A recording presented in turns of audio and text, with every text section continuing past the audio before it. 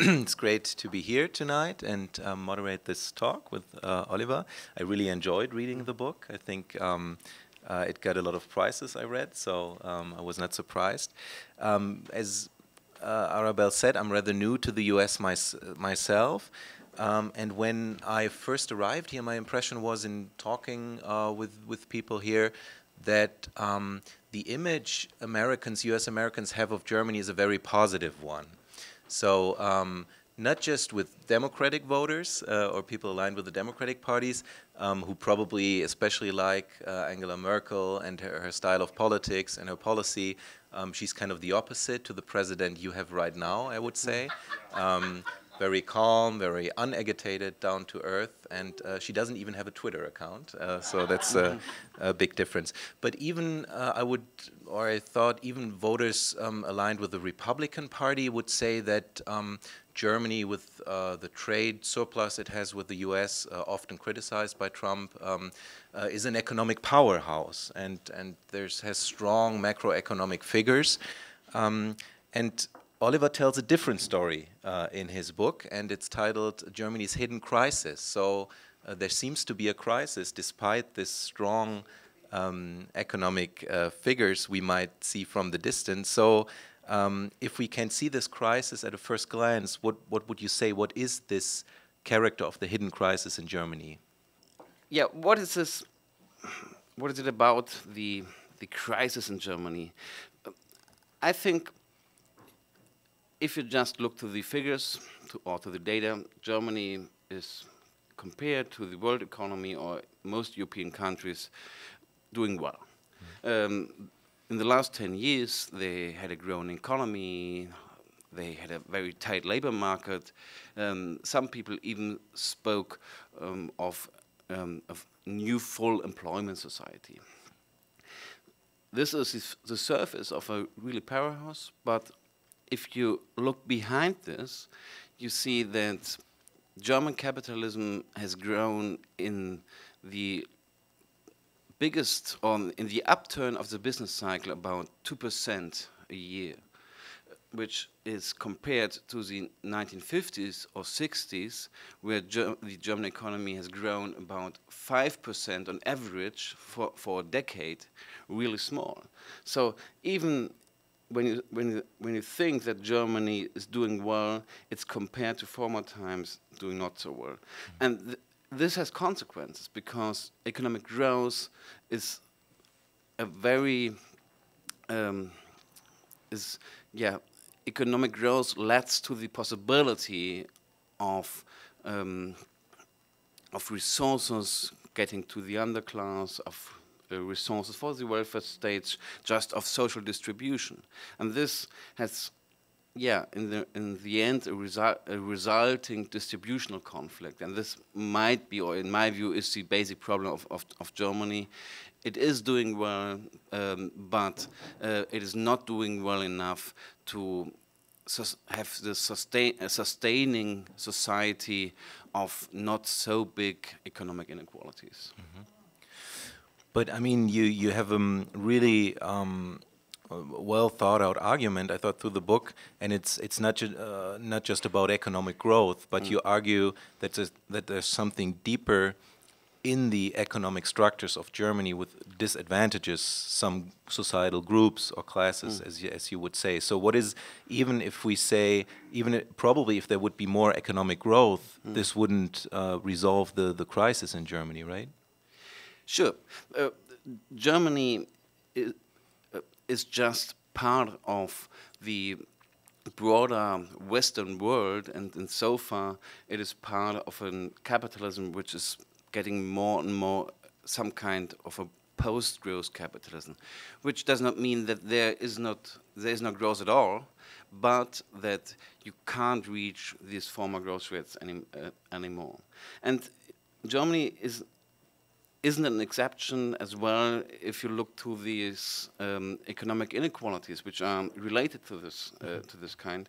Um, the uh, German sociologist Ulrich Beck once called Germany a society of an elevator, and he coined this term because, um, or this metaphor um, to describe a society where the rich and the poor have been standing together in an elevator, and this elevator was going up. Um, and because it was going up, even if there had been huge difference between rich and poor, the difference didn't matter in, uh, anymore. Classes didn't matter anymore. Um, and this was the, um, the, the, main point of, of Beck. And um, what I'm arguing is that despite we are growing, or Germany has grown, and there's, there was new wealth produced, Germany had become more unequal, like most Western um, most Western capitalist countries, um, and in particular that the lower 30 or even 40 percent of German households, which experienced in, in the post-war society a real upward mobility, um, a real growth of of um, economic rights, um, a growth of possibilities to live their lives, that these people have experienced a lot of pressure on their wages, their life perspectives, and on their social situation. It has become in general, in general more uncertain, more precarious, um, more with some problems in the future or in the future certainties. Mm -hmm. So, so coming back to the discussion about the trade surplus of Germany, which uh, U.S. President Trump heavily criticizes, but is also criticized in the European uh, European Union and Europe. Um, so, would you say um, it is legitimate to criticize this, not because one country is exploiting the other one, but rather because Germany is exploiting a laborers, a labor workforce, in creating like an, an advantage on the international stage? Oh, well, difficult question. Um, so capitalism is a is a global system where not com companies do compete and nation states do compete. And Germany was very good um, in driving down uh, unit labor costs and to become very competitive in international uh, terms. And mm -hmm. so Germany became one of the most productive um, export nations in the world, behind China. Um, but part of its success dependent um, on the international division of labor because Germany was just building a lot of car, a lot of more or less good cars because as everybody know, knows th they are cheating very much. Um, but people like this car and, and one of um, I think why Germany was doing so well because um, in most new industrializing countries like China or India, there there are new middle classes, mm -hmm. and these middle classes, what do they buy if they have a new status? They yeah they buy cars and particularly German cars. Um, so Germany was successful in selling cars to China, India, um, and very successful to, to, sell cars to the United States, mm -hmm. um, and was successful to sell machines. Um, so the, the, German Maschinenbau um, in uh, the, th the, southern parts of Germany was very successful um, and was dependent on global integration. So there are basically two stories. One story is about international division of labor, and the other one is which Trump criticized. But this is yeah, part of a game which every country does. Mm -hmm. um, in, but if you look a little bit deeper to it, it's yeah. I don't like it, but I have to say Trump. Th there's a little bit of a truth in it, what he's saying, B because just um, Germany was so competitive, even in Europe, that most other, Europe, other European countries had some problems because they had problems with their own exports, mm -hmm. and Germany was so strong. Mm -hmm. So a more balanced account of German exports and imports would be good for, in particular, the European economy, may be for the world economy as well. Mm -hmm. um, Did I just say that Trump was right? you did. You did. Um, we have that on record as well. So um, you you talked about the elevator effect, so um, a period of growth um, in the 50s, 60s, and maybe even 70s um, in Germany, where everybody, every societal group or class profited from economic growth. Um, so what happened? What made the elevator stop? What factors led to a turning point in, into a different direction? There's no no single factor which determined this development, um, but one part of the story or one factor is clearly um, the economic crisis of the early 70s, um, which introduced this new kind of post-growth capital, uh, post-growth capitalism, the the first international crisis of capitalism in the years of uh, 1972 and 1973. Mm -hmm. uh, the Bretton Woods system was abandoned. Uh, we have now free-floating economic um, systems of money. Um, so this situation um, was a situation where a new international competition was created and many G German companies reacted in a particular way to it. Um, they they decided, or the, the strategy, the, the, strategy was now, after this crisis, they, that they bought new machines, um, and these machines substituted labor. So they tried to not to build more cars, but they rather tried to build the same amount of cars with less workers. Mm -hmm. um, so there, there was a creation of um, a new unemployment, to put pressure on, on, on wages, um, and many companies try to flexibilize their production strategies. Still, it's the case if you're a worker for BMW or Mercedes or VW, um, you, you earn a lot of money and you have good labor relations. But the people who are included inside the, the labor relations of these big companies. They're getting smaller and smaller. And there's a kind of dualization in the labor market inside the companies. So for every good worker in a company, there's a temp worker. And this temp worker owns less than 50 uh, percent. He has not the same labor regulations, not the, not the same social security. Um, and this wasn't, or this pattern wasn't clear in the 70s, but it was the beginning of, of this pattern, of this dualization of the labor market. A labor market of one part of people with good relations, good relations, and one part with people of getting more precarious uh, labor relations. And this was one reason why, um, why now a segment of nearly one third of the labor market um, is atypical, uncertain, precar uh, precarious, and why this elevator effect for, in particular, the old working class and the, uh, the lower strata of German society has stopped. And people now experience society very different.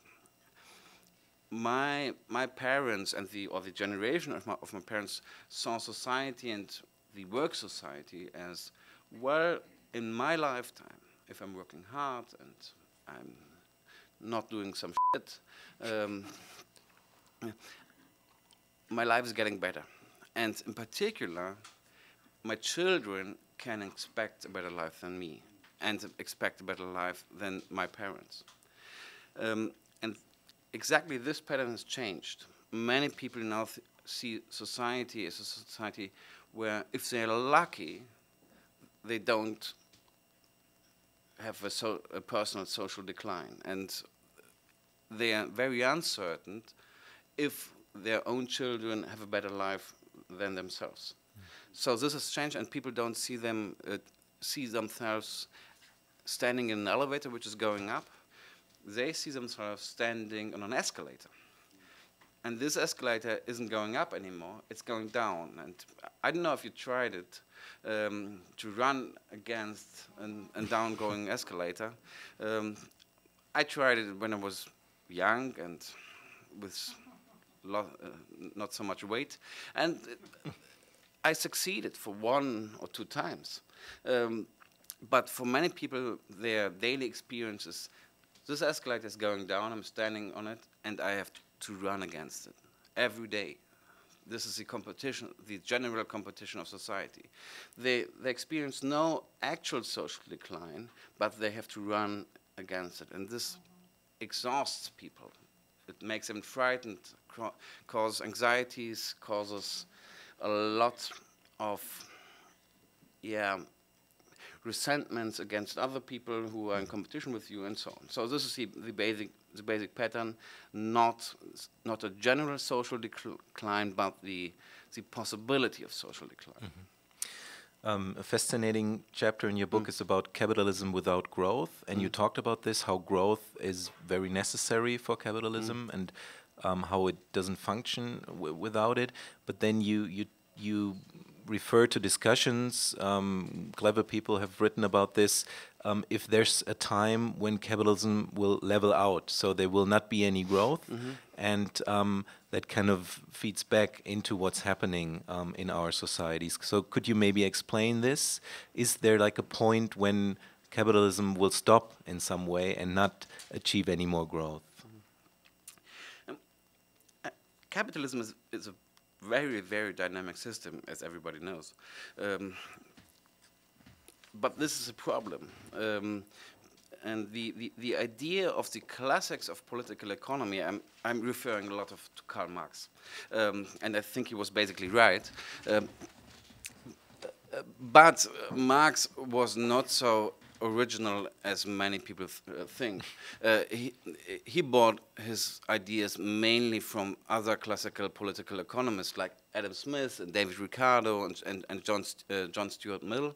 Um, they are the same generation of econom political economists and they shared or they had a common view about the development of a maturing capitalism. Like, it's, it's growing, but the growth is always decreasing to an end where some kind of stationary state, a capitalism without, without growth.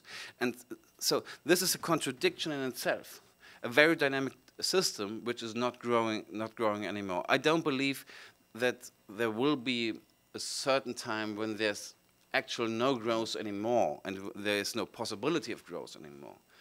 But capitalism is always trying to get more growth in the last 30 years first attempts have been Keynesian attempts, like the state is trying with a fiscal stimulus to, to create more growth. After that, neoliberal, neoliberal reforms like the deregulation of the labor markets, privatizations, try to create more growth. But all these attempts created grow growth, but they created not enough growth to get on a new sustainable path of growth. And this this should make us all not frightened but critical because if capitalism tries harder and harder to create growth but it always fails and every creation of growth has side effects the, liberal, the liberalization of labor markets had side effects precarity. If we are investing more or even trying to get more and investment always means and growth always means we, are, we need more fuel.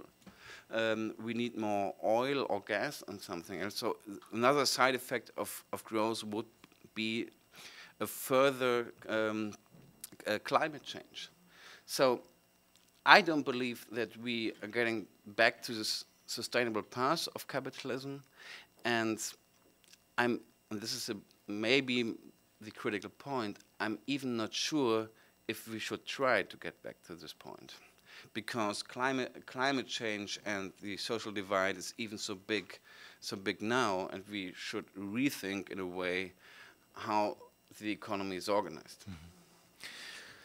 You, you, talk about very basic mm. principles mm. of capitalism, of capitalist societies. Uh, your, your analysis is very much focused on the mm. German case, but um, I hear a lot of mm. agreement tonight mm. here. So, um, what would you say, what elements of your analysis um, speak to the U US society as well? Well, in, in my. To uh, sell your book here yeah. as well. in, you're right. So it's even the title. My, my book is about Germany. Um, but it is a book about Germany which always reflects the condition of advanced capitalisms. And in particular, the chapter on the political economy isn't about Germany alone, is it, it is more about capitalism in, in general. The, the ideas um, I refer to are uh, ideas of, um, in particular, uh, US economists um, who are not known as Marxist economists like Larry Summers or Paul, uh, Paul Krugman, um, but basically they share the same ideas like Marx or, or, or. Um, they talked about even this capitalism without, uh, without growth. So you have in the US now a better growth rate in Germany right now, but it is very much dependent on the tax cuts uh, um, of the uh, of the Trump administrations. You have still, and global capitalism has still um, this kind of nearly zero interest rates or uh, cutting uh, cutting interest rates. It's very unusual for a situation um, um, where the economy isn't in a recession. Mm -hmm. so the, the the low interest rates reflect that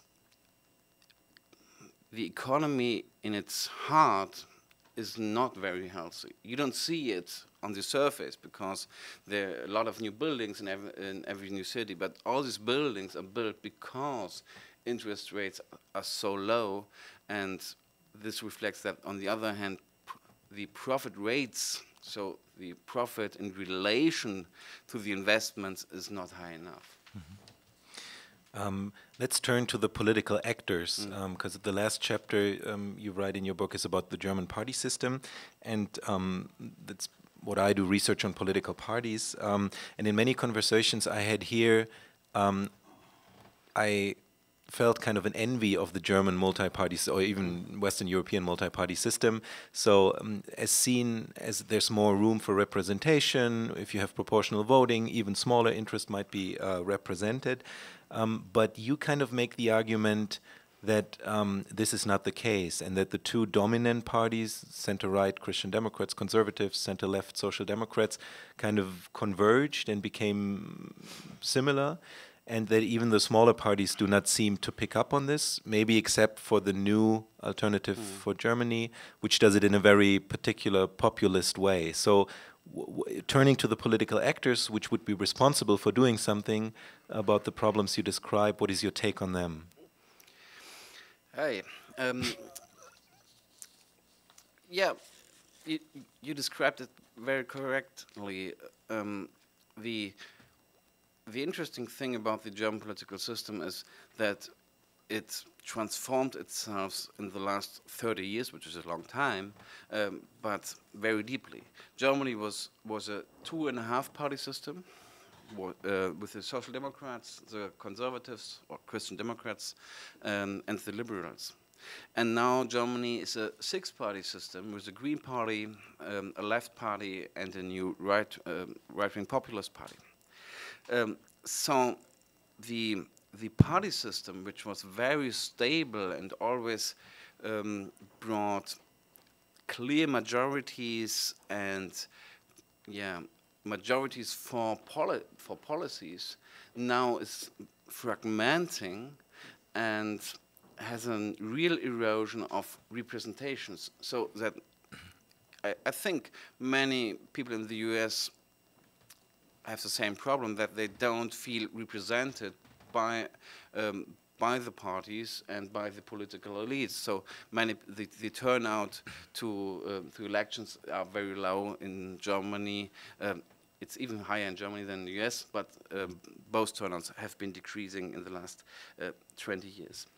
The, the problem for Germany is that the, that the old strongholds of the underclass, the Social Democratic Party, which had um, uh, nearly 42% of the votes in the 1970s. Now is only reaching out to 16, maybe 20% of, um, of the electorate. Um, so this Alt Party, which was an, a, a very impor um, important pillar of social integration in Germany, hasn't lost this function of social integration. and other competitors are coming in and yeah, challenge challenge them. One challenger was the left party, or still is in a way, but even the left party has has lost a lot of its steam. And now the Alternative für Deutschland, the AFD, um, the new right-wing populist party, is about uh, 12, sometimes 14% um, in, in, in the polls, and could become the new Workers' Party. It's not a left-wing party, but it rep represents more and more people from the un uh, from the under um, underclass. And this pattern is it. So there there are clearly very different political systems, but this pattern of people from the underclasses, and it's not only the workers, people from the lower middle classes, they do feel unrepresented from the political elites, they feel uneasy and alienated from the political system, and sometimes tend to use their right to vote to make a protest vote or even to, yeah, to shift to more authoritarian values. Mm -hmm. um, and this situation is very comparable to the US. Um, one special moment for the Social Democrats was the red-green federal government, which um, made extensive uh, labor hmm. market mm. and, and welfare state reforms uh, early 2000s, um, Agenda 2010 or, or Hartz laws. Um, is that the point? I mean, you, your analysis goes deeper, and, mm. and the things you talk about, they started earlier, but was that the big mistake of the party? Did they lose uh, or did they disconnect to their party base and now it's up for grabs and the AFD is the new party who's uh, talking to the to the voters which used to be um, aligned with the mm. Social Democrats? Yeah. The, the, la the labor market reforms, the so-called agenda reforms um, in the um, early years of the century are clearly a tipping point um, in the history of the German political system. Um, so Germany was always very not not really boring, but it it took time for it, it, always takes time for change. But the the change in Germany, um, or I have to say it otherwise. Um, so in Britain there was Margaret Thatcher, and uh, in the States there was Ronald Reagan, and both um, had a very straight neoliberal agenda and tried to implement the policies. And in Germany we had Helmut Kohl, who was, well, yeah, like this very, very German guy, um, and he wasn't very successful in implementing or creating social change and political political change. The biggest social change was created by the red-green gov uh, red-green government, and they made the biggest welfare cuts in German post-war post-war history. And this is one of one of the paradoxes and one of the tragedies in German history that the biggest welfare cuts are made by a Social Democratic Party. Um, so the the deep alienation of the, the, the party and its former classical electorate never was, was, was healed in a way, um, and still isn't healed. The party leadership always tries to make some symbolic changes, but still these reforms are, um, are implemented.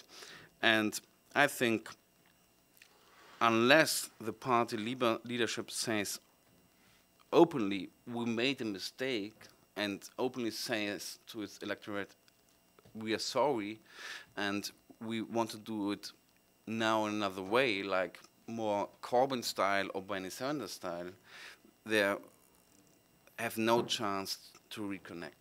Mm -hmm. I have one last question before mm. we can open up the floor, so think mm. about your questions. Um, you, in, in your book, you modestly state that you merely sought to analyze the problem and, and tell us about what's going wrong, mm. and there's not enough room to, to offer solutions. But maybe for us tonight, um, mm. you, you did a lot of research on this. So, what, what would be potential ways forward which might improve uh, the situation? Do we need fundamental reform? You, you hinted at some mm. things already, or what would be options to to correct the mistakes you you point out?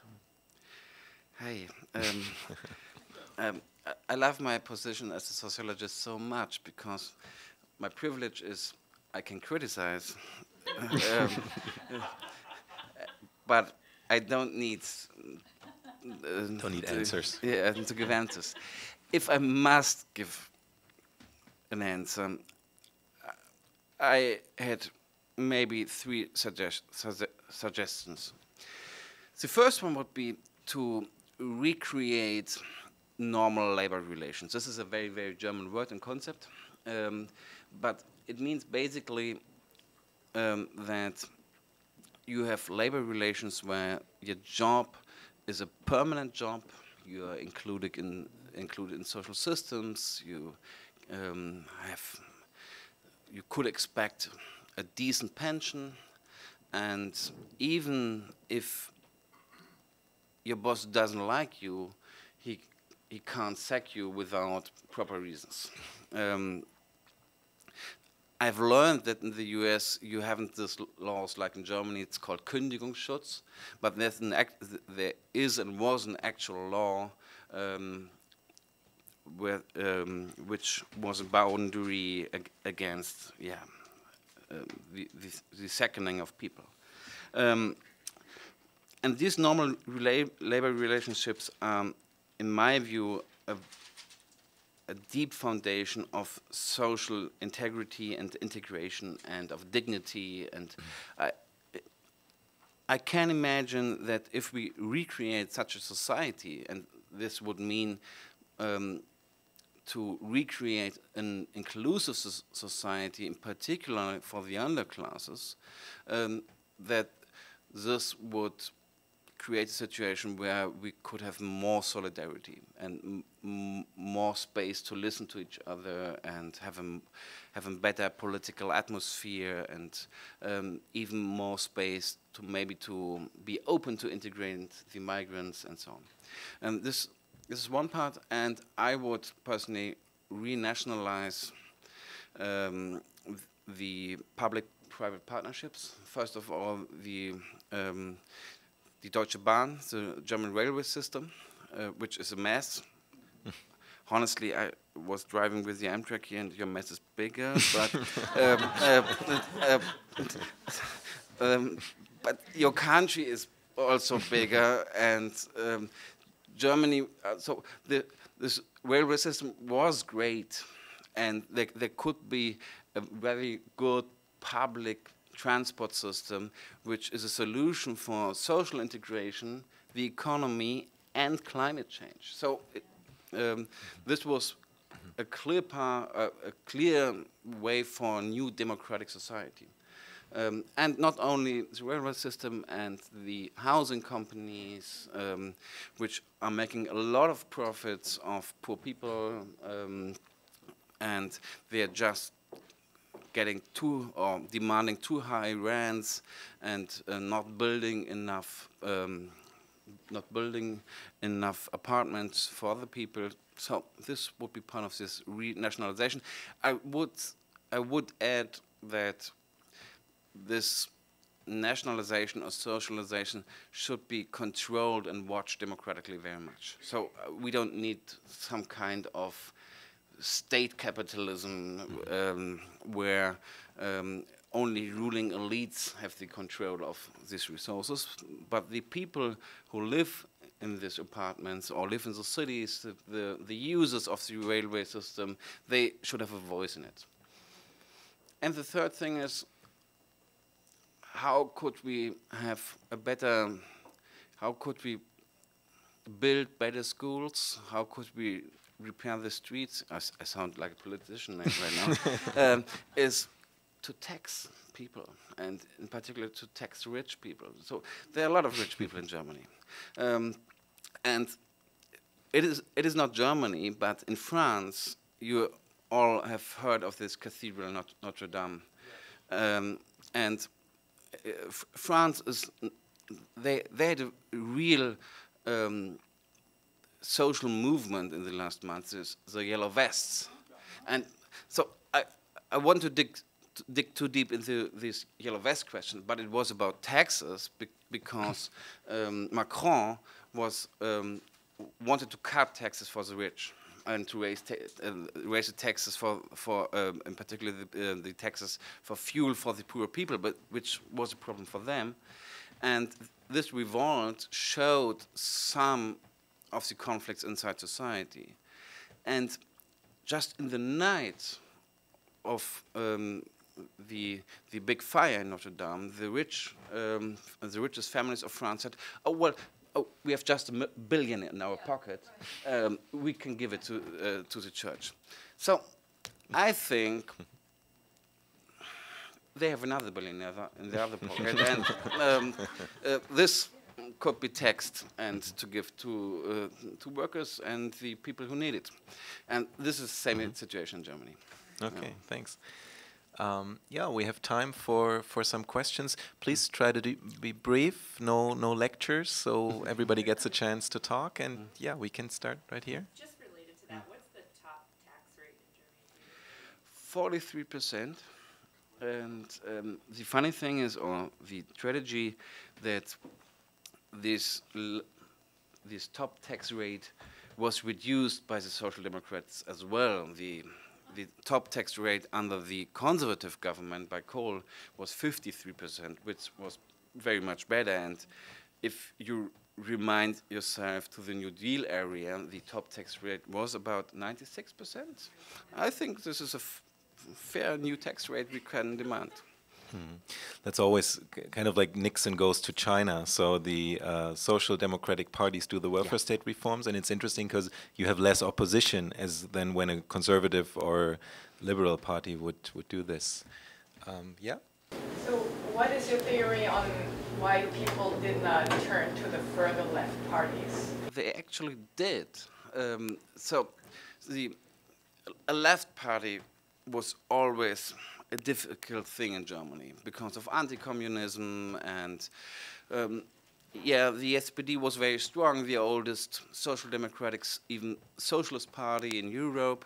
Um, but after Oskar Lafontaine left the SPD and there was this union of the old communist uh, SED PDS in Eastern Germany with this um, split, Western split of the SPD in Western Germany, the, the Linke was created, and they have been pretty successful for two election terms, um, and they earned um, 9%, uh, 9% nearly out of the blue. Um, but then something changed. This has a lot to do with Lafontaine's ego, um, but also that the Linke tried to become an establishment party in itself. So it, it in particular in, in, Eastern Germany, it, try, um, it stopped to be the, the voice of the people not heard, and it tried to be the better government party. This was, uh, this was their claim. Um, and this claim, it, didn't work out. Um, so people, in particularly since 2015, they wanted to have a party uh, to give a, a hard voice um, and to say, we want to give the establishment a message, but the left was seen as part of the establishment. And if the Linke, and they did not actually, had positioned itself more like Bernie Sanders or Jeremy Corbyn, which posi positioned themselves as more like an anti-establishment voice, they, in my view, could have been very successful to help the AFD down. But this didn't happen, so it's a speculation. And also, I mean, there's a lot of intra-party conflict in the left yeah. party um, because it's really strong, nearly Volkspartei in, in Eastern Germany, and really weak uh, mm sometimes without parliamentary representation in the West, and there's a lot of groups inside of the party fighting over the right strategy, and that takes up a lot of resources yeah. as well. Um, yes, please. Uh, where, I mean, your three reform, you know, suggestions about where, where is the political support going to come from? That not the SPD, and if the, if the Linke is split down the middle, and even perhaps part of it going to the right itself, maybe that's too strong, maybe not. Where's it gonna come from? It's not gonna be the Greens, is it? there is no potential actor right now. S- Um, so, yeah, the, the, the Greens, they're very successful right now, but in a way, they are lucky because they have political scientists call it the issue ownership. They have the issue ownership for climate change in, in green politics. In practice, well, they are very near the automotive industry right now.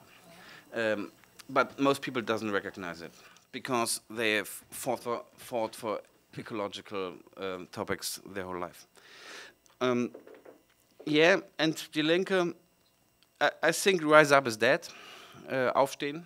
Yeah, uh, Sahra Wagenknecht, the leader of Rise Up, um, she stepped down.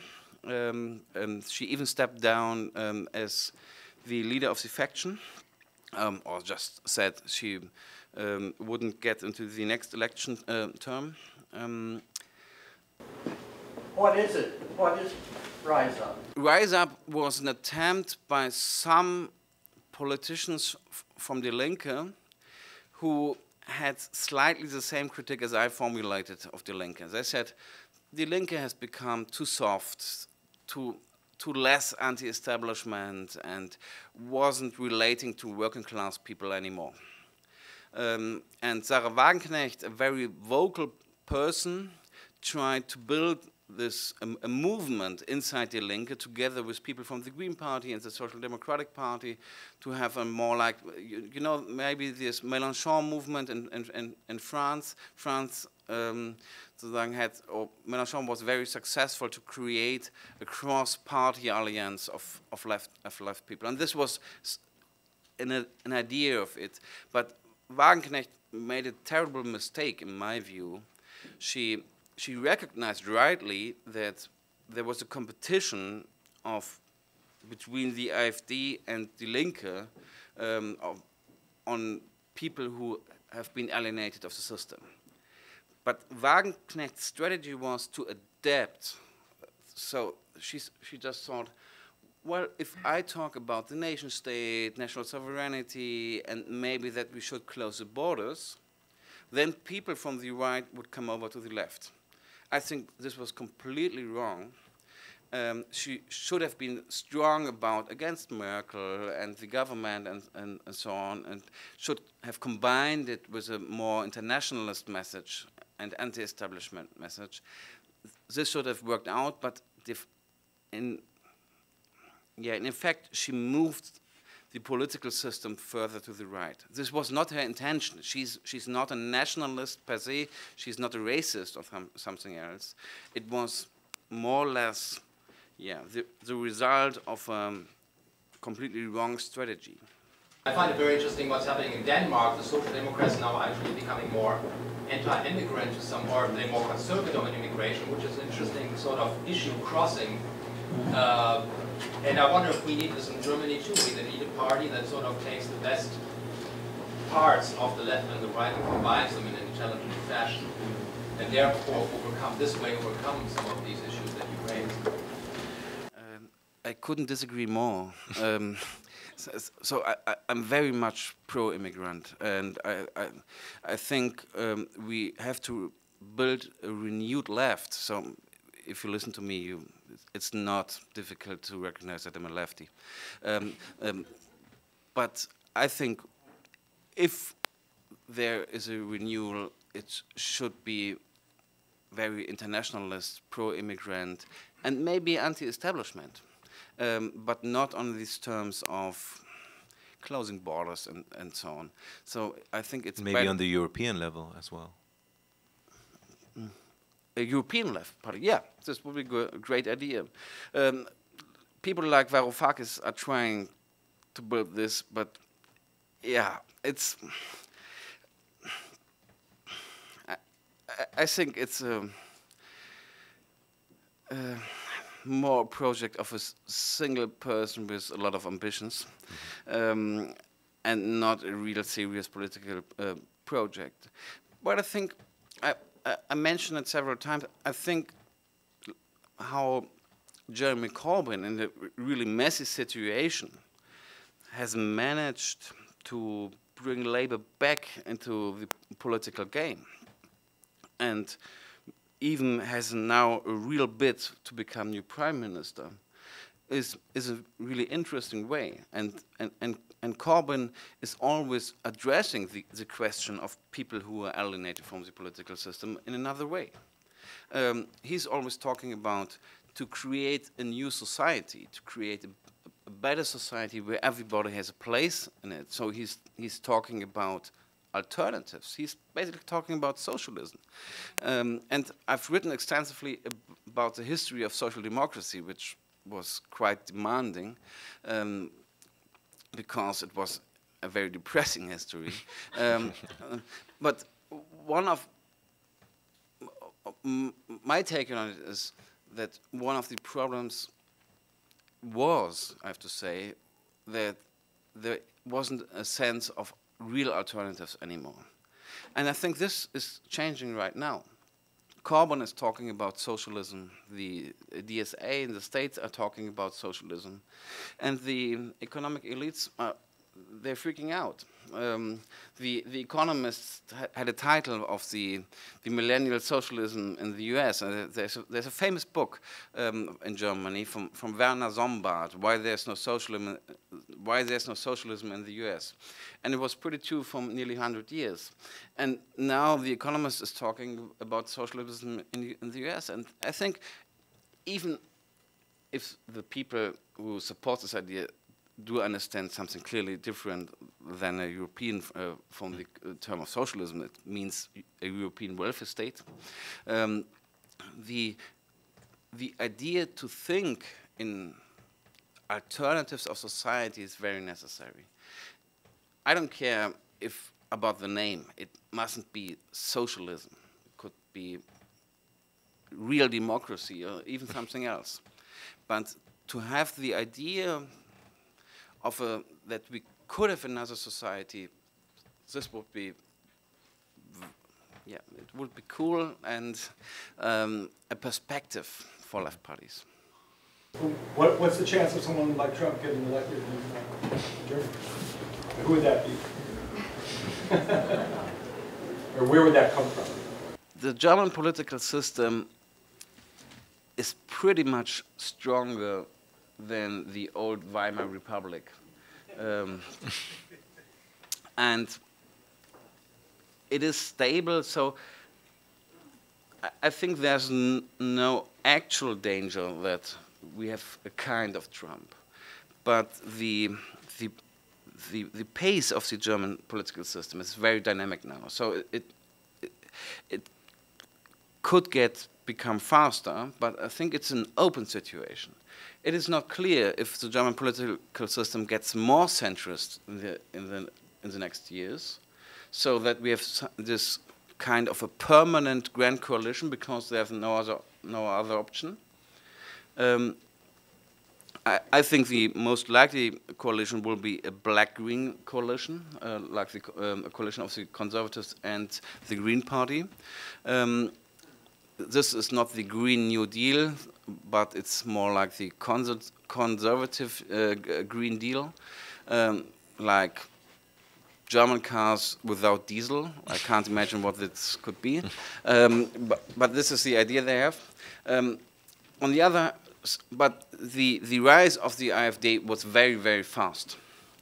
Um, I have some hopes that it that they now reached for the limit for now. Um, but if we look into the history, we know that the NSDAP, the, the fascist party in Germany, was small before, before 1930.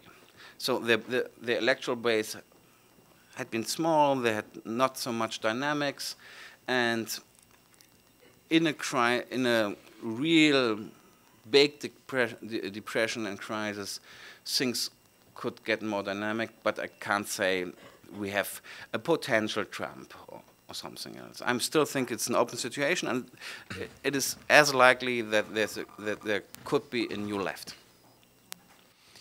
I mean, and also it's it's probably Merkel's last term, um, and she already stepped down as leader of, of her party. um, because of, of internal pressure. And um, I mean, there's going to be some movement in the Conservative Party as well. There has been a lot of tension, and it could be that the party becomes more conservative, more right, mm. and so the room for the AFD to maneuver becomes smaller as well. So, mm. like you said, it's an open situation. Yes. So the population, uh, the, the immigrant population, will be increasing every year going forward with um, global warming. It all doesn't. It doesn't feel good now. But what happens um, in 10 years or 20 years when the numbers increase fivefold, tenfold, until it's 5 million or, or 10 million of all of Africa will be burning. It's already burning if you look at the NASA satellite. You ask the right question in a wrong way. Um, so I think we shouldn't think about it in terms of there will come millions of migrants in 20 years. We actually don't know and can't do know this. So what we should think about to change the conditions that uh, make people to leave the country uh, in which they are born, um, in particular to fight against climate change, to fight for better uh, global conditions that life is good everywhere um, in the world, and you have the chance to partici participate right now in this kind of kind of movements. But I think the first of all, the history of migrant movement is all, was always, in fact, very productive. Look to the United States.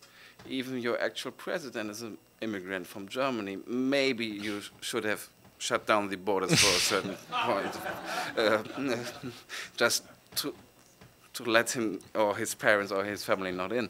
Um, but most of the German people are not really born in in a German way. The whole Germany's um, national soccer team, they are from a lot of nations. Uh, the whole story of, of the US is a, is a, is a migrant success story.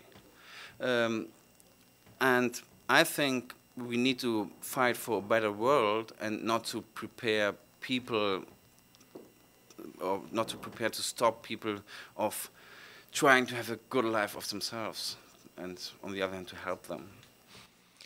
We have time for one last, mm. or maybe we can have the last two questions together, um, or the last three. I'm just curious uh, where you see the economy heading at this point. There seems to be a resurgence of a lot of speculation at, in, in trillions of dollars going on again. And with the, the failure of reforms in the wake of the last one, what do you think the consequences could be if there's a real crisis? Maybe, yeah. yeah. Uh, just a quick question. Uh, what do you think Germany can learn from the U.S.?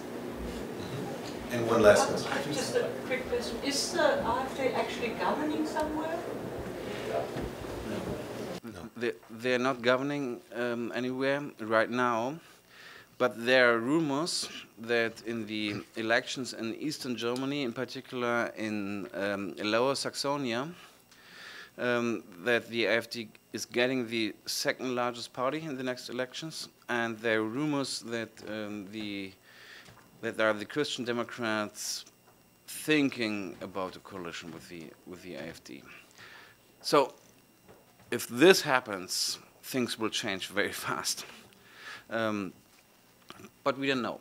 Um, I'm, right now, I'm, I'm really a little bit helpful that they that they reached, reached their, their limits for now.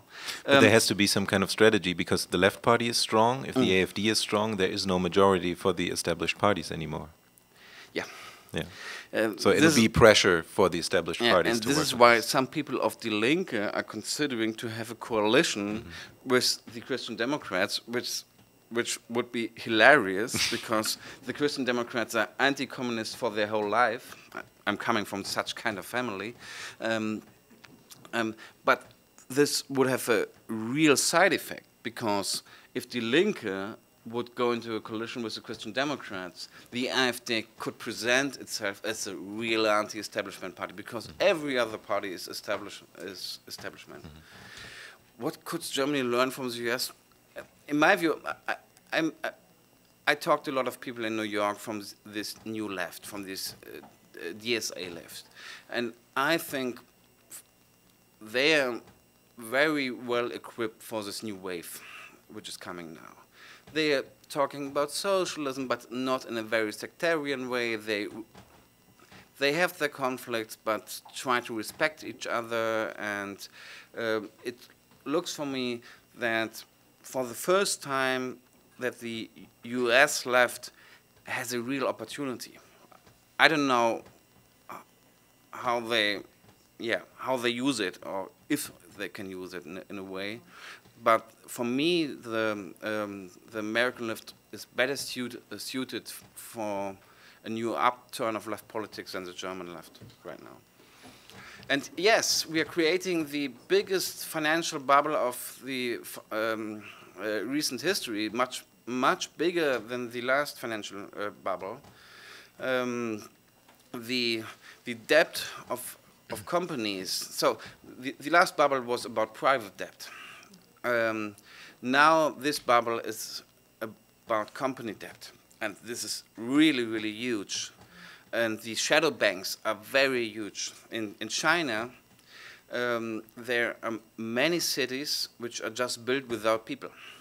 It's just to create with cheap money buildings.